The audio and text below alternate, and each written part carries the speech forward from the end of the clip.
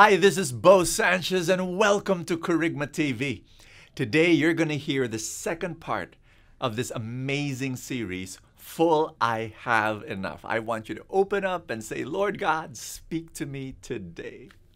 How many people are blessed to be here? Would you raise your hand? Awesome. Wonderful seeing you guys. I need you to do me a favor. Could you greet as many people as you can by telling them, I'm so blessed to be standing next to you today. Come on, go.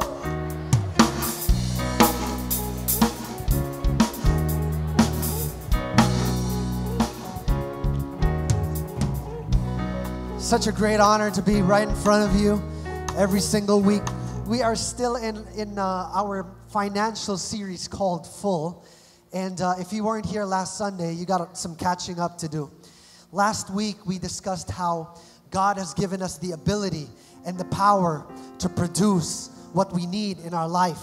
And today, what we are going to talk about is how we can, we need to protect all these blessings that God has given us. Now that we know that we can produce, we need to protect what God has given us. Especially, let me say this, especially because we live in a world that has a lot of deceit. A lot of people scam you nowadays, you know? A lot of people cheat you over nowadays. So you really got to learn how to manage what God has given you, all right? So, how, many, how many people are, are, are excited to learn a new thing today? All right, we got some great wisdom for you today. I hope you came here with a hungry appetite because you know it's always good to come before God with a hungry appetite because you know that God is going to fill you up, right? He's going to fill you with a kind of nourishment that you can't even get in a restaurant, that you can't get in the mall, that you can't get in a retail outlet. Only God can fill your deepest desires and your deepest hunger. That's right. I believe that God is going to fill you and overflow in your life today. Can I get an amen?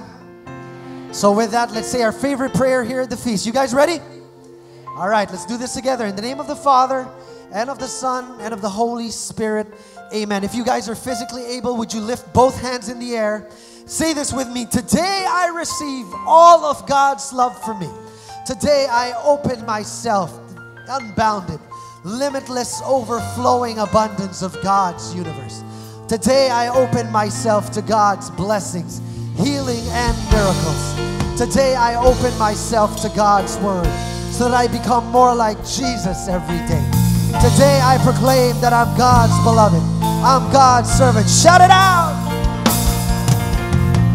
Because I am blessed, I am blessing the world. In Jesus' name, amen. Thy word is a lamp unto my feet and a light unto my So the question is how do we manage what God has given to us? How do we protect the investments that God has blessed us with? How do we become good stewards here in this world? See, I think it's really important for us to talk about this because, like what I said, we live in a world that has a lot of deceit. People are trying to fool you, some people are trying to scam you. How many people have been scammed at least once in your life? Raise your hand. Yeah, I've been scammed like twice in my life. And see, the truth is, my friends, if you think that scams and deceit is a 21st century invention, you're wrong because this dates back even way before, even before Jesus Christ came into this world. There was already deceit. In fact, I'm going to prove it to you. From the book of Genesis, we read the story of Jacob. Genesis chapter 29, verse 18 to 28. This is going to be quite long, so I need you to follow. Every tell tell your neighbor follow. It says here that Jacob was in love with Rachel. So he told her father, I'll work for you for seven years if you'll give me Rachel as my wife. Agreed. Laban replied. That's the name of the father. So Jacob spent the next seven years working to pay for Rachel. But they seemed to him but a few days. He was so much in love. Everybody say, in love. Finally, the time came for him to marry her. I have fulfilled my contract, Jacob said to Laban. Now give me my wife so that I can sleep with her. So Laban invited all the men of the settlement to celebrate with Jacob at a big party. Afterwards, that night, when it was dark, Laban took Leah. Take this, not, not Rachel. He took Leah to Jacob and he slept with her. And in the morning, it was Leah. What sort of trick is this? Jacob raged at Laban. I worked for seven years for Rachel. What do you mean by this trickery? It's not our custom to marry off a younger daughter ahead of her sister. Laban replied smoothly, Wait until the bridal week is over and you can have Rachel too. If you promise to work for me another seven years. So Jacob agreed to work seven more years. Then Laban gave him Rachel too. There's a lesson to be learned here, my dear friends. And the lesson is not keep marrying until you get the right one, all right? Or keep marrying until you find the right woman for you. That's not the lesson, all right? So if you're single, I don't want you to go running off and marrying just anyone thinking that after seven years you're gonna get to replace that person, all right? That's not how it works. Tell the person beside you that's not how it works. There's a valuable lesson that Jacob wants to teach us. Here's the lesson, all right? Are you listening? This is, ha- this is also our one big message for today. I need you to hold the person on your left, the, the, the, the hand of the person on your left. Are you holding that person right now? Look that person in the eye and say, before you make any major decision, you better look under the veil. That's right. That's our one big message. Look under the veil. See, the way I see it, my friends, the way I see it, Jacob could have avoided all that heartache, all that headache, not to mention all those years wasting away if he only did one simple thing, which was to look under the veil. Do you want to know why we get cheated in life? Yes? Ask me, ask me why. You must mahina pa. Ask me why. Because we allow our desires to rule over our decisions. I'm going to say that again we allow our desires to rule over our decisions. Just like Jacob. All right, let's break it down. Let's break down what happened. Just to be fair with Jacob. Back in the day, women, when they got married, they wore a veil that covered their entire face. Nowadays, we don't have that, right? Nowadays, you can see the bride see through. But back in the day, you wouldn't see the bride the entire ceremony. And the wedding actually took place in the evening. So it was very dark, it was very blurry, and it was very confusing for Jacob. But here's the clincher Jacob was so excited. I mean, imagine putting your, yourself in the shoes of Jacob. You've worked for seven years so that you can marry the girl of your dreams, Rachel. Would you be excited? On that day, you knew that you were going to get married finally to Rachel it was marriage time, you know, it was game time, it was wedding night. And so you can imagine Jacob. He was so excited going up to the altar. He was so excited that he didn't bother doing the one simple thing, which was checking who was under the veil. See, Jacob let his desires rule over his decisions. He let his passion take over his prudence. He let his wants take charge of his wisdom. And I believe, my friends, that this still happens even up to today. And I'm no longer talking about marriage. Uh uh-uh. uh. i am talking about money. How many times have you allowed your desires to rule over your decisions when it came to money? How many of you have ever experienced someone offered you a very attractive investment showed you the big numbers, and you just said yes. Just like that. Because you didn't even bother looking under the veil. You know what I'm talking about? Yeah, you got so excited over something and you just said yes. You just jumped the gun. Let me share with you my own personal story. May I? When I was in second year high school five years ago, this is a true story, okay? When I was second year high school, my best friend, he, we had this schoolmate who owed him 2,000 pesos. Now, 2,000 pesos in 1992, there's the truth. In 1992, 2,000 pesos was actually a lot of money. it's maybe e- equivalent to maybe about 20,000 in today's currency. And when you're a high school student, that's a lot of money, especially if you're dependent on, on your allowance, right? So anyway, he owed he was owed 2,000 pesos and one day, after many, many months of not being able to pay my friend, this schoolmate of, of, of ours approaches my friend and says, you know what? I really don't have the capacity to pay you right now. But you know what? My, my tita, she sent me this bill. And if you're okay, can I use it to pay you? Because I know this, this, this, this is worth something. He reaches out, out from his pocket and hands over money from the Republic of, of Argentina. 10,000 Argentine pesos. And you know what my friend did? My friend was shocked because he knew that it was foreign currency. He knew that it had value. So he said, okay, yes, fine. Quits na tayo. Bayad na utang mo. All right. So my friend, you know, he's so excited. You know what he did? He approaches two, two of his best friends, me and another friend, and he says, you know what, guys? If you help me look for a bank that can convert this, you know what I'm going to do? We're going to split it into three ways. Because he only owed me 2,000 and there's so much to go around. Siyempre, kami naman, di ba? We got so excited. One day, we planned a trip all the way from Rizal to Greenhills to a bank which we knew, BPI. And pagdating namin doon, actually, before we even came there, riding along the bus, you know, we were talking about all the things we were gonna buy. I was thinking about how I was gonna buy the latest Giordano Classics polo shirt, you know, the one with the collar. And I was gonna buy the latest Mighty Kid rubber shoes. How many people know Mighty Kid?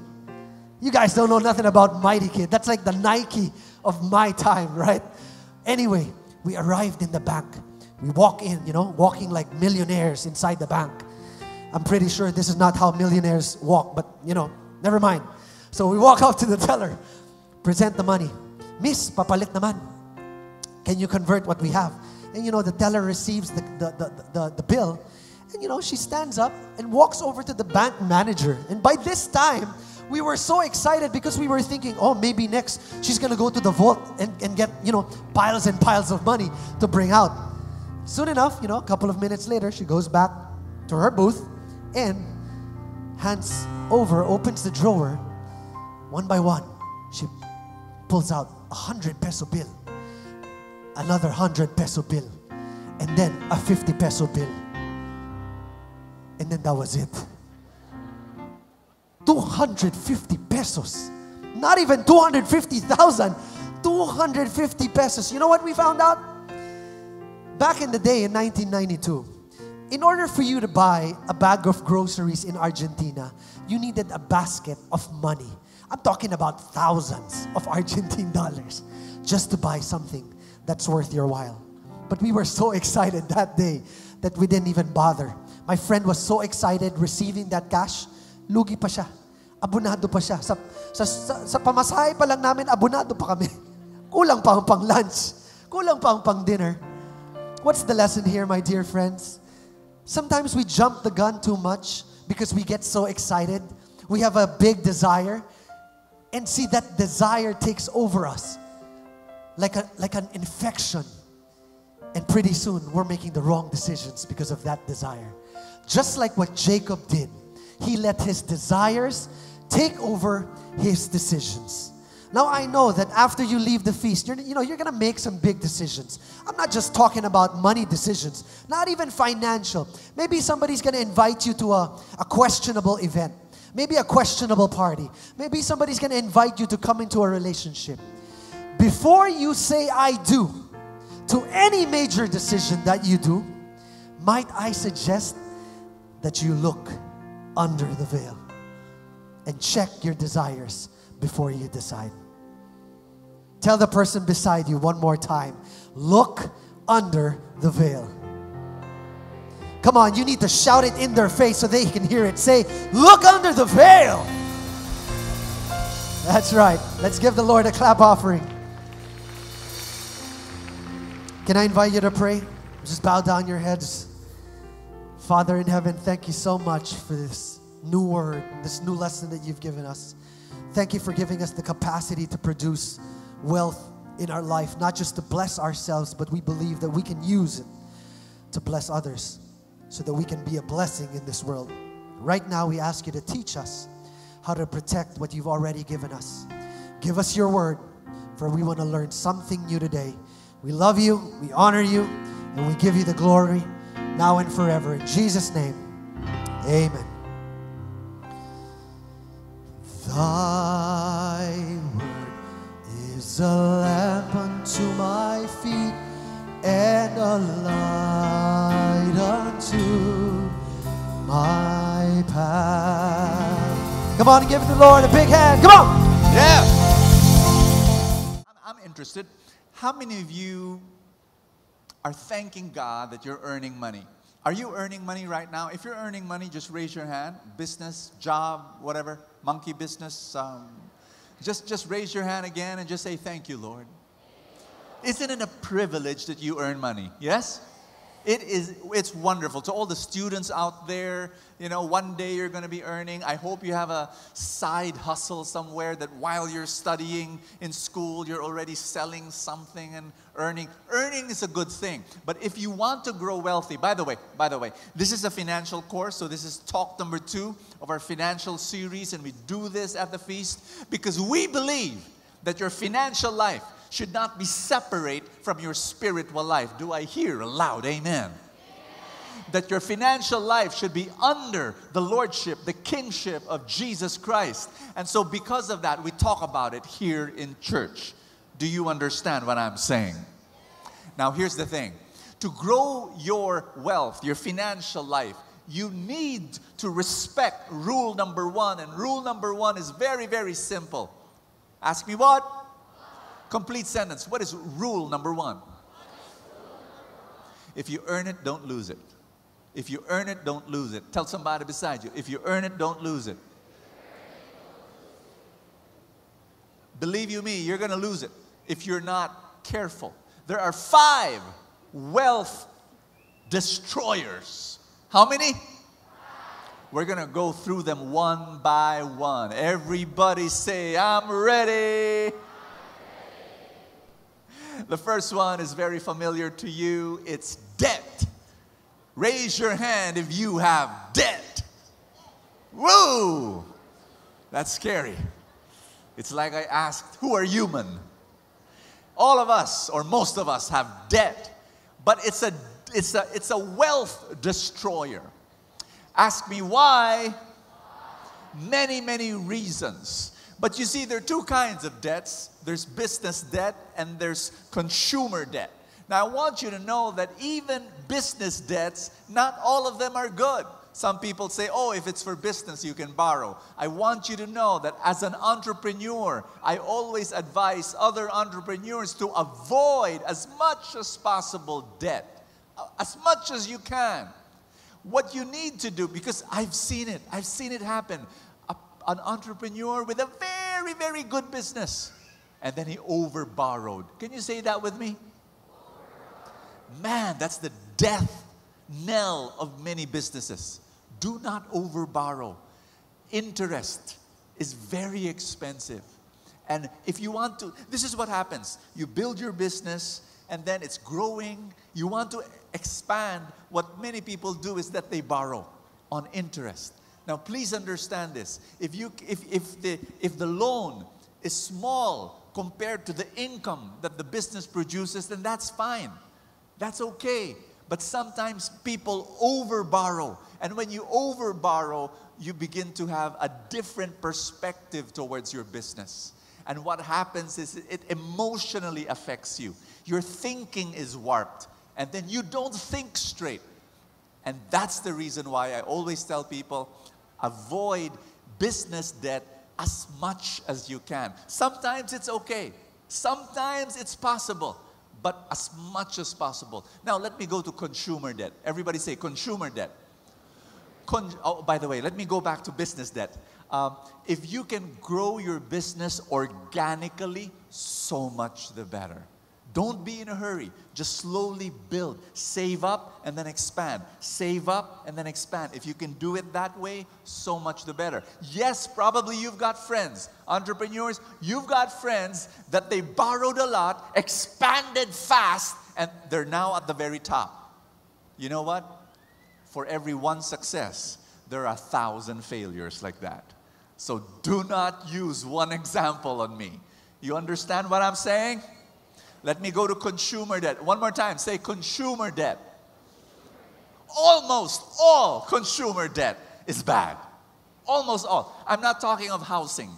If you are going to borrow money to build your house or to own your house where you're going to live in, that's okay.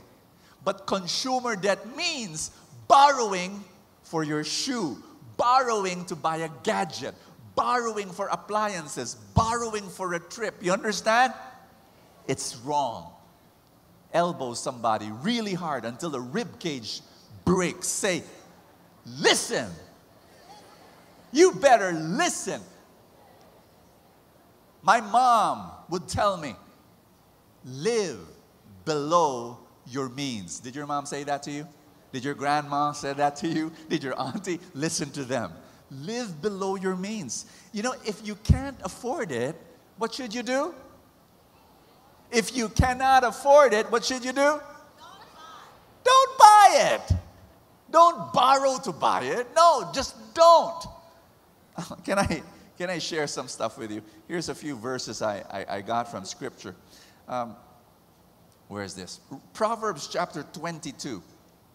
Um, the rich rules over the poor, and the borrower is a slave of the lender. Are there any people here who want to be slaves?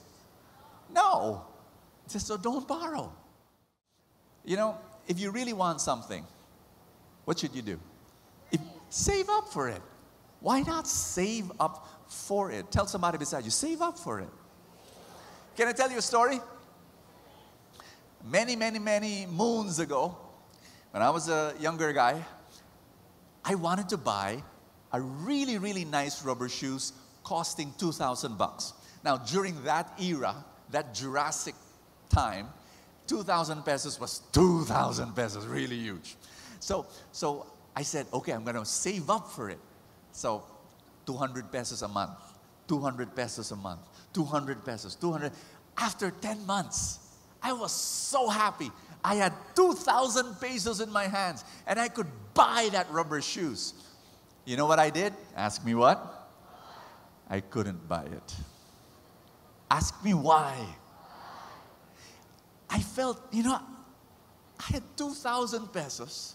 I could buy the shoe already, but it took me so long to save it, so hard to work for it. It wasn't worth it. The rubber shoe was not worth it. You know what I did? Ask me what? I bought a 500 peso rubber shoe. That's what happens when you save up. You realize how valuable it is. You realize what hard work means. Are you getting what I'm saying? That's why if you want something really bad, save up for it because then you realize the value of money and the value of hard work. What happens is when you've got a credit card or when you've got a, you've got a place where you can borrow, what happens is that you don't see the value. Oh, I can get it and I'll just pay, you know, on installment every so often. My dear friends, if there's something that you've got to understand, debt is like a hunter. I got this from Dave Ramsey, one of the financial teachers. In Proverbs 6, verse 4, it says, Save yourself like a gazelle escaping from a hunter. Imagine you're a gazelle. Spell gazelle. Deer na lang, deer. You're a deer. And then you see a hunter. And when a hunter is there, what does the deer do? Does the deer say, Oh, hunter, hi. Oh, you're scary. Oh, you've got a gun. Okay, I better go. You might hurt me. Oh, nice grass. Yum, yum, yum, yum, yum. Oh, there's water. Does the, does the deer do that? No! When the deer sees a lion, when the deer sees some menacing uh, prey, prey, brow, brow, prowler, never mind. Predator, predator. When, when, when, the, when, the, when the deer sees a run, runs like a, like a bullet. My dear friends, I have an announcement to make. Debt is a hunter. Debt is a, is a lion. Make sense? You know, you get texted by companies, credit card companies, asking you to borrow, giving you opportunities to borrow left and right. What should you do? Run. Run. So many people are so proud. Oh, Brother Bo, I'm offered to, they, they want me to borrow. They're so happy. Run! Run! You, get, please. It's a death. It's, it's, it's, it's a wealth destroyer. Am I speaking to somebody in this place? Now, you could, you could tame the lion. You could. And what I, I have in my wallet five credit cards. I use cre- credit cards, but I know how to use them. I pay for them at the end of the month. Are you listening? And credit cards pay me if you know how to do it and if you know how to use it. Um, I never borrow from my credit cards, so very, very important. Let's go through more scripture. Are you ready? Oh gosh. Romans chapter 13, verse 8. Can you read that for me, please? Owe no one anything except to love one another. You like that? You know, the Bible even says, you know, don't, don't owe anyone. Don't, and that means don't borrow. Can you just tell somebody beside you, stop borrowing? Are you ready for wealth destroyer number two? Wealth destroyer number two is scams. Everybody say scams. In Proverbs chapter 20, verse 17, it says, Bread gained by deceit is sweet to a man, but afterward his mouth will be fu- full of gravel. Um, excuse me, miss? The Manila Hotel par- party may be there in the building. Yes. Or you're getting married? Manila Cathedral is over there. It's That, my friend, is what you call a scam. Pretending to be someone who is she or he's not. And I, I, I just want to share something very important for you to understand this that scams, by nature, present something very beautiful to you and then will promise to you 2% a month interest, 3% a month interest, 5% a month interest. I met a scam, a scammer, promising me 5% a day interest. And what you need to do is look under the veil. Always look under the veil. And in the Philippines, there will always be scams because there, there are always people who like it the easy way. I have a, another scripture verse for you Proverbs. You know, it's amazing. The book of Proverbs was written 3,000 years ago. And it's as though it's so applicable right now, as though it was written yesterday. Proverbs chapter 21, verse 5. Read with me, please. Hasty shortcuts lead to poverty. That's what a scam is. A scam is put your money with us, you know, in, in, invest here, and then we're going to multiply your money really fast 2% a month, 3% a month. Basically, it's about wealth destroyer number three, very much connected. It's greed. Can everybody say greed?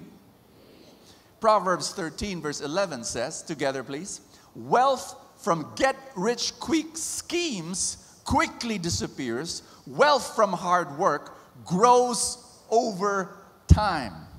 My dear friends, in, uh, can, I, can I make a confession?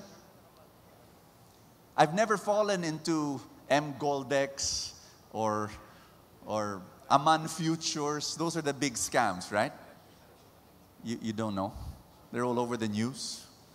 Um, during my time, decades ago, it was Multitel, it was Manchester 5. I mean, the, the names change, but the system is the same. It will dangle in front of you a red, juicy apple, 2% a month. Put your money here, and we'll make your money grow at 2%, 3% a month, 5% a month. You know, it will try to lure you in. My dear friends, it's greed. It's greed that pulls us into scams. Here's my confession. Early on in my spirit, in my, in my financial journey, this was 20 years ago, 15 years ago, I got into some businesses because my friends told me, invest in our business and your money will grow. And I did. I put my money there. And you know what? Six of them, six of those businesses failed. Six of those, I lost all my money in those six investments. Friends of mine, not strangers, real friends telling me, please invest in my business. And I do not blame them. Ask me why. Because they told me, Brother Bo, invest your money in my business and we will give you 2% a month, 3% a month. And I said, Yes. I didn't know. Now I know that a normal business cannot return 2% a month to an investor unless you're selling shabu. Do you understand me? Now I know. Before I did not know. So when I lost my money in those six businesses, I'm telling myself, I cannot blame them. I'm partly to blame. I entered into that investment because I wanted 2% a month, 3% a month. Are you getting me? It is partly my fault. I am to blame. Are you listening to me? It's greed. This is tough talk, I know. Wealth destroyer number four laziness. Laziness. My dear friends, I got into those six businesses, invested there without even studying the business. I didn't research the industry. I didn't. I did what many Filipinos do. Oh, bahala ka na. We love that word, bahala ka na. We like it the easy way. We think it's as easy as that. Just putting our money there and then it grows without doing any research, without doing any kind of hard work. Laziness. I see it all the time. You know, when, when, when young people come up to me and they tell me, Brother Bo, I want to be like you. I want to be a successful entrepreneur. I like asking these questions. Oh, you want to be a successful entrepreneur? Yes. What did you do last weekend? We went to the beach. The weekend before that, uh, party. The weekend before that, uh, shopping. and I laugh and I say, Are you sure you want to be a successful entrepreneur? Because if you're going to be a successful entrepreneur, you're going to work very, very, very, very, very hard. In the past decades of my life, I've tried to balance my business and my family and my ministry, and I've been working 16 hours a day. Can you do that? Can you do that? That I don't have weekends. I just work. And especially in the first five years of being an entrepreneur, my gosh, it was like sleeping at midnight, waking at five in the morning every single day for the first five years of my being an entrepreneur. Can you do that? Can you pay the price? That's a question, by the way. Can you? Look at somebody beside you and say, Can you? Oh, here's another example of laziness. After giving a stock market seminar, I always have this. A few people, not, not too many, you know, one, two, three people come up to me after I give my stock market investing seminar telling people it's the safest investment because you're going to invest with, you know, the biggest companies in the Philippines, SM, Ayala, you know, that, that, that's, that's safe. At the end of the seminar, people come up to me and say, Brother Bo, matanda na ako eh. Brother Bo, I'm not techie. You, you told us you're going to invest online. Brother Bo, can I give you the money? You be the one to invest for me. That's why people get scammed. You just want to give the money to somebody. So my, my, my script is this. Do you do Facebook? And the answer usually is yes. If you know how to do Facebook, you'll be able to know how to invest in the stock market. It's the same thing. My dear friends, once upon a time, you did not do Facebook. It's too complicated for you. I'm talking to people my age. I'm not talking to people, to, to my kids. You know, they were born, you know, with Facebook. But if you're my age, once upon a time, you didn't do Facebook. It was too complicated. Now, you know how to send emojis. you can learn this. You've got to learn it. Because wealth destroyer number five is ignorance. I go everywhere. And sometimes, there, there, was one time I spoke, you won't believe this, I spoke to a room full of CPAs, accountants, and they managed millions of money for their companies, but they did not know how to manage their own money. They were in debt, they didn't know how to invest. Accountants, are you listening to me? I've spoken to doctors who can perform surgery, they can operate on the brain. They do not know how to operate their own money. They're in debt, they don't have savings. Are you listening to me? Meaning to say, there are people who are. I was talking to a captain of a ship. Captain. He was earning 500,000 pesos a month. No savings, no investments. I asked him a question Captain, if you lost your job today, how long will you survive with your savings? And he said, Zero. I've got so much debt. Ang dami kong utang. Earning 500,000 pesos a month. Now listen to me. Uh, can I ask you a question? Was that guy intelligent? Was that guy intelligent? He was. He's a captain of a ship.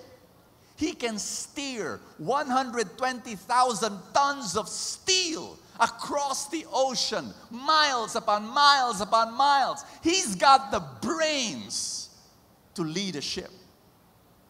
He does not know, he doesn't have the brains to lead his own personal finance. Are you listening? You need to learn how to manage. Get away from ignorance. Ignorance will destroy your wealth. You've got to study, you've got to learn. And this, this is something I really want you to do. My dear friends, there's another ignorance that you need to fight. Ask me what? For Filipinos, we do not know how to help. We do not know how to love. When relatives come and ask you for money, many Filipinos, they just give. Why? Because naawa sila. Even if, even if, every time they ask, give, give, give, give. And you're creating a parasite but when you create a parasite, are you really helping? You're cursing. You're cursing. And in the process of helping, you're not able to save. You're not able to invest. Why do I know that? Because of Anawim, our ministry for the abandoned elderly. We pick up lolos and lolas from the streets, and they're former teachers. They were earning money there, there, there were two principals in Anawim. There was one dentist in Anawim, earning money, but now abandoned by the family. There was a film director, would you believe? Assistant film director. He was earning money. Abandoned, poor. I speak a very strong word for you. You need to learn how to love. You need to learn how to really help your relatives. You need to invest so that in the future, you will still have money and still be able to help people. You cannot just help others without being able to help yourself. Do I hear an, an, a loud amen? I'm going to invite you to stand up. I'm going to close with this one message.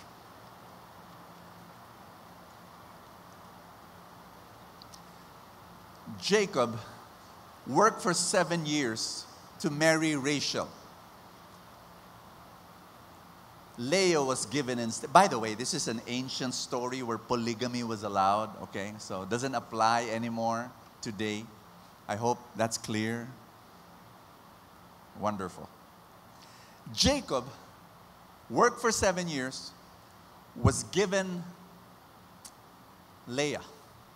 He goes to Laban, the father, and says, I wanted Rachel. And Laban said, Okay, I'll give you Rachel, but promise to work for me for another seven years.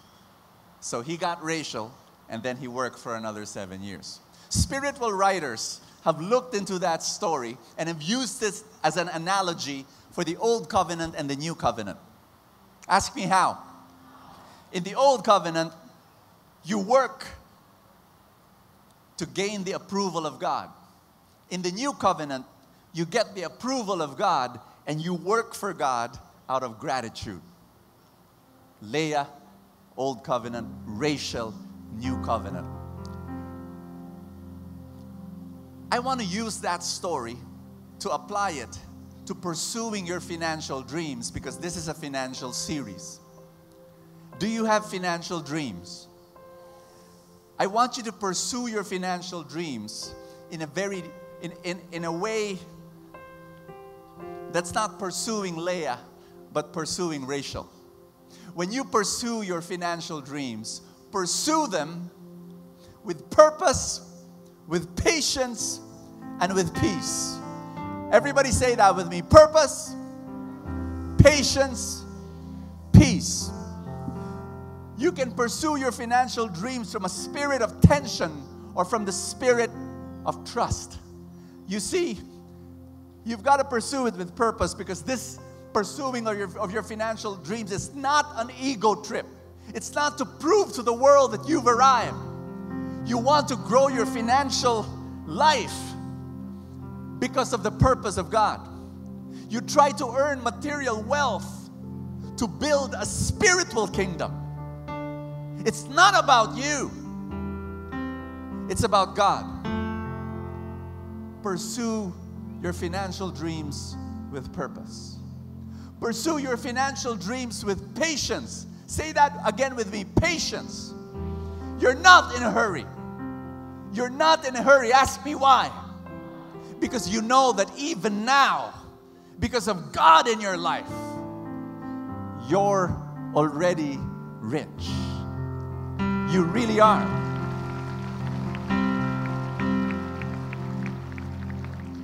There are people who are like working for Leah, and they and they work and they work and they work for years to get their Leah. You you already have Rachel, and you work and work and work out of gratitude that you already have the blessing that you need. You already are rich right now. You're not impatient. People who are in a hurry, that's these are the people who get scammed. You're not in a hurry. You're willing to wait day in and day out, working and working because you know the blessing is already with you. Finally, you pursue your financial dreams with peace. Everybody say peace. Ask me why. I have met a lot of poor millionaires. You know what I'm talking about? They've got lots and lots and lots of money, but they've got a scarcity mentality. And they're always petrified, they're afraid that they will lose everything one day. And they're really poor, even with all their money. My dear friends, are you a Jesus follower? Are you a real Jesus follower? If you are, you know you're going to lose everything one day. you're going to die. And you're not afraid. You're not. You know that whatever wealth you have now and the wealth that you're going to earn, it's not yours. You're at peace with that. You're so much at peace with the fact that you're just managing God's wealth. Can I invite you to pray with me in the name of the Father and of the Son and of the Holy Spirit? Can I invite you to lift up your hands and, and open your heart to God and just say this after me Father in heaven, I thank you that I'm already rich because I have you, because you love me. And I thank you that I own a beautiful relationship with you. I am blessed. Jesus, I follow you and I will pursue my financial dreams with purpose, with patience, and with peace. In Jesus' name, Amen.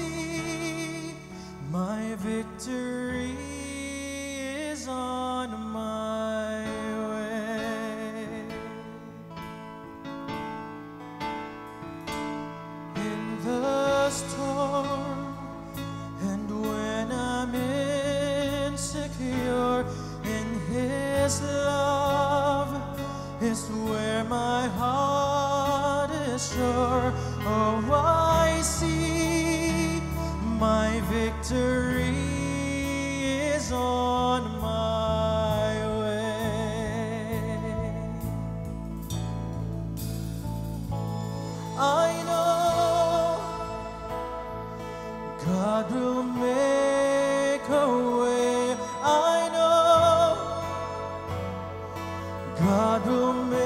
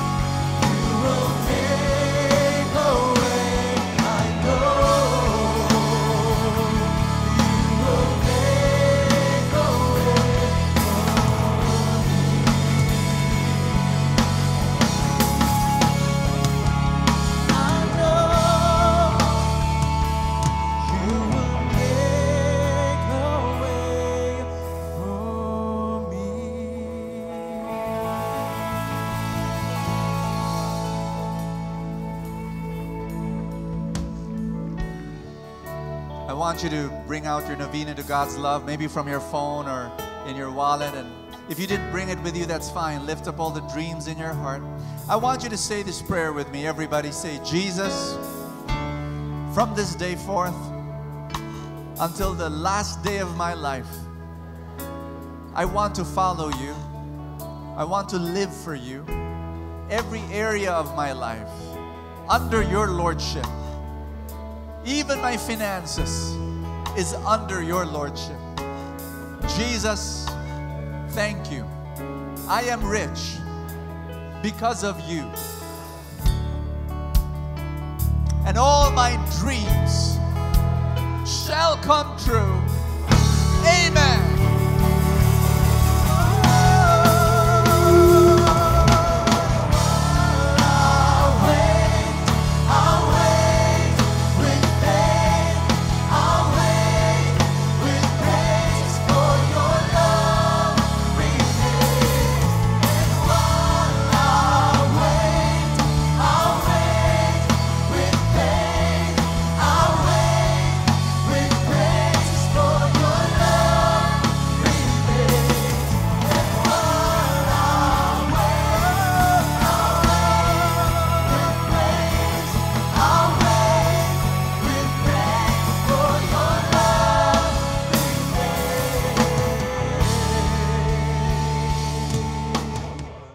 That was amazing, just being able to hear that word, that message, and I pray that that message transforms your life.